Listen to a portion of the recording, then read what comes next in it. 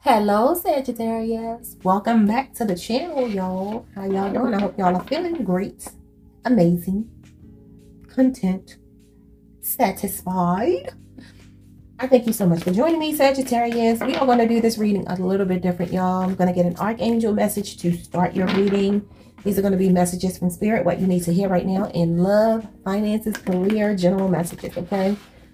It's going to be for Sagittarius, Sun, Moon, Venus, Rising. Take what resonates and leave the rest for someone else. Don't try to force anything. Take what resonates, y'all. What's meant for you is meant for you, okay? Don't pick up other people's crap, okay? You got two cards. We have Speak Your Truth, Archangel Gabriel. Thank you, Gabriel, for helping me to speak with integrity. Now, you know Sagittarius to speak their truth, right? Then we have the number three, Archangel Michael is with you now. So you got two archangels with you. I know that's right. We have, even though you can't see it, I am active. I am actively working on this situation. I am here and helping you. So you got two archangels on your side going to bat for you, Sagittarius, okay?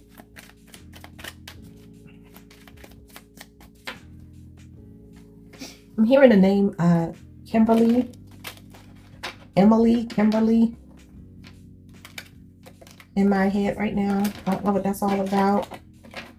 Someone could have dyed their hair red or blonde recently. Oh. Yvonne, Yvette could be relevant. Emily, Kimberly is what I keep hearing. Okay, let's see.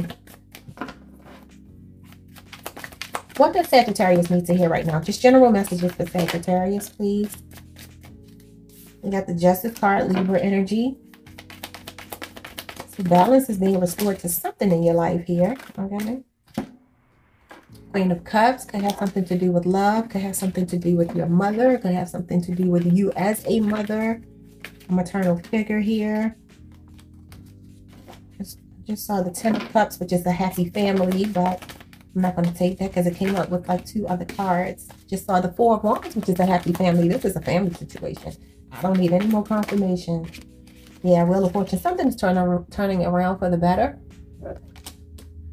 Turning around for the better for you. It feels like finances. It feels like karma. It feels like you got two karma cards here. It feels like love. It feels like it could be a combination of, of all those things. And some of you could be dealing with um, legal issues right now. if you are, I'm hearing, just listen to your intuition and it will turn out in your favor here. This is good luck. Okay. The Wheel of Fortune is very good energy. It means you've been through some things. You've been through some changes, some cycles, but it's turning in your favor now. And we have the Knight of Cups at the bottom of the deck. So some of you could have a love offer coming in from someone. Let's clarify. What is the justice card here for? This balance, this honesty, integrity, and truth. Someone may be confessing how they feel about you. A relationship could be turning around. This could be family. It doesn't have to be love, y'all, because we have speak your truth. And the justice card is about speaking truth. You could be confessing, you could be confessing that you're in love with someone or you love someone or mending a relationship, possibly with a maternal figure, okay? So we have the magician. Yes, y'all are making something happen. You're manifesting something here. I feel like it's healing.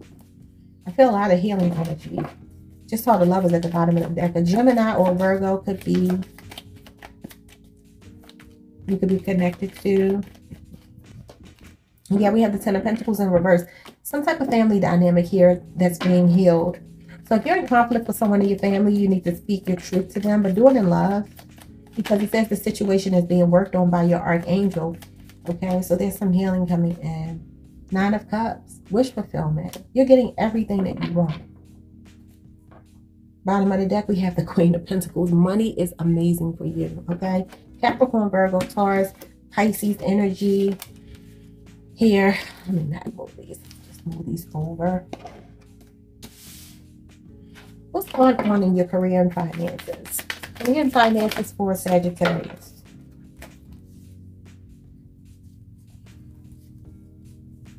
Let's see here. Wow, fulfillment. You could be closing out a cycle somewhere too. You might be closing out one thing, moving some into something else. A Leo, Scorpio, Aquarius, or Taurus could be involved in some capacity. This is completion. The closing of a cycle and evolution. It's going to the next level. You, you've mastered all, you know, you mastered level one, you're going to level two. You got the nine of cups coming out again in your career and finances. You are about to be living your wish fulfillment. Both of these are about wish fulfillment, okay? So you, you're going to be absolutely great here. Then you got the king of cups. Queen and king of cups. Some of y'all have a soulmate coming in. It could even be in business with a soulmate. Could be counselors, could be politicians, could be you could just be an authority figure where you are in charge of giving advice, mentoring, um, healing. It could be anything. Let's clarify. Bottom of the deck, we have the Four of Swords. I feel like something is definitely coming to completion for you. And you you are happy about it, like whatever it is. Five of Swords. For some of you, it's a conflict, and I feel like it's with a family member. Could be an Aquarius, or it could be a spouse. It could be a a partner. Page of Swords clarifying the uh, Nine of Cups. You are strategically planning. You're strategizing. You're devising your plan. You're, you're doing your research right now on how to get your wish fulfillment. We have the Two of Pentacles. Decision making, planning. You're doing a lot of planning here. And look at this. You're going to have so many opportunities coming your way. You're not going to know which one to choose. Eight of Wands could be traveling. Got two traveling cards here. Also, the world is a traveling card. You could be getting a new car. You could be traveling. Okay. Let's see. What's going on in love for Sagittarius? We got the judgment, making a final decision about something. We got the four swords coming in again. Two Libra cards. Got the four of cups, Cancer energy. And we got the four of pentacles. Some of y'all are definitely like, you know what? something I was holding on to. I'm making a decision to let it go. I've had my awakening because I've taken my break and I'm no longer interested in it. It just doesn't doesn't do it for me anymore. What this why, why, why can I shuffle? Okay, what is the I just saw the three of swords. Someone could have broken your heart. But let's see, what's the judgment about?